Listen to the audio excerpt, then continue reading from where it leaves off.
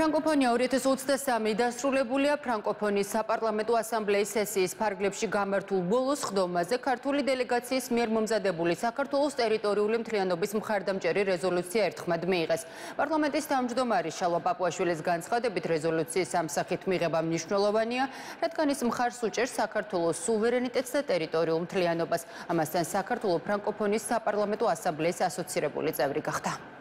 დამტკიცდა ერთხმად ასევე რეზოლუცია, რომელიც უკავშირდება საქართველოს ოკუპაციის გამოწვევებს და ასევე ტერიტორიული მთლიანობის მხარდაჭერის რეზოლუცია, რაც ძალიან მნიშვნელოვანი არის, რომ ასეთი ფართო წარმომადგენლობითი ასამბლეა ფრანკოფონური ქვეყნებისა მხარს უჭერს კიდევ ერთხელ და ხას უსვავს დეოკუპაციის მნიშვნელობას და მხარს უჭერს ტერიტორიულ მთლიანობას საქართველოსი. გარდა ამისა, გუშინ იცით, რომ ასამბლეამ საქართველოს მიიღო ასოცირებულ წევრად რაც არის დიდი პატივი ჩვენთვის და გავაგზავნებთ რა თქმა უნდა აქტიურ თანამშრომლობას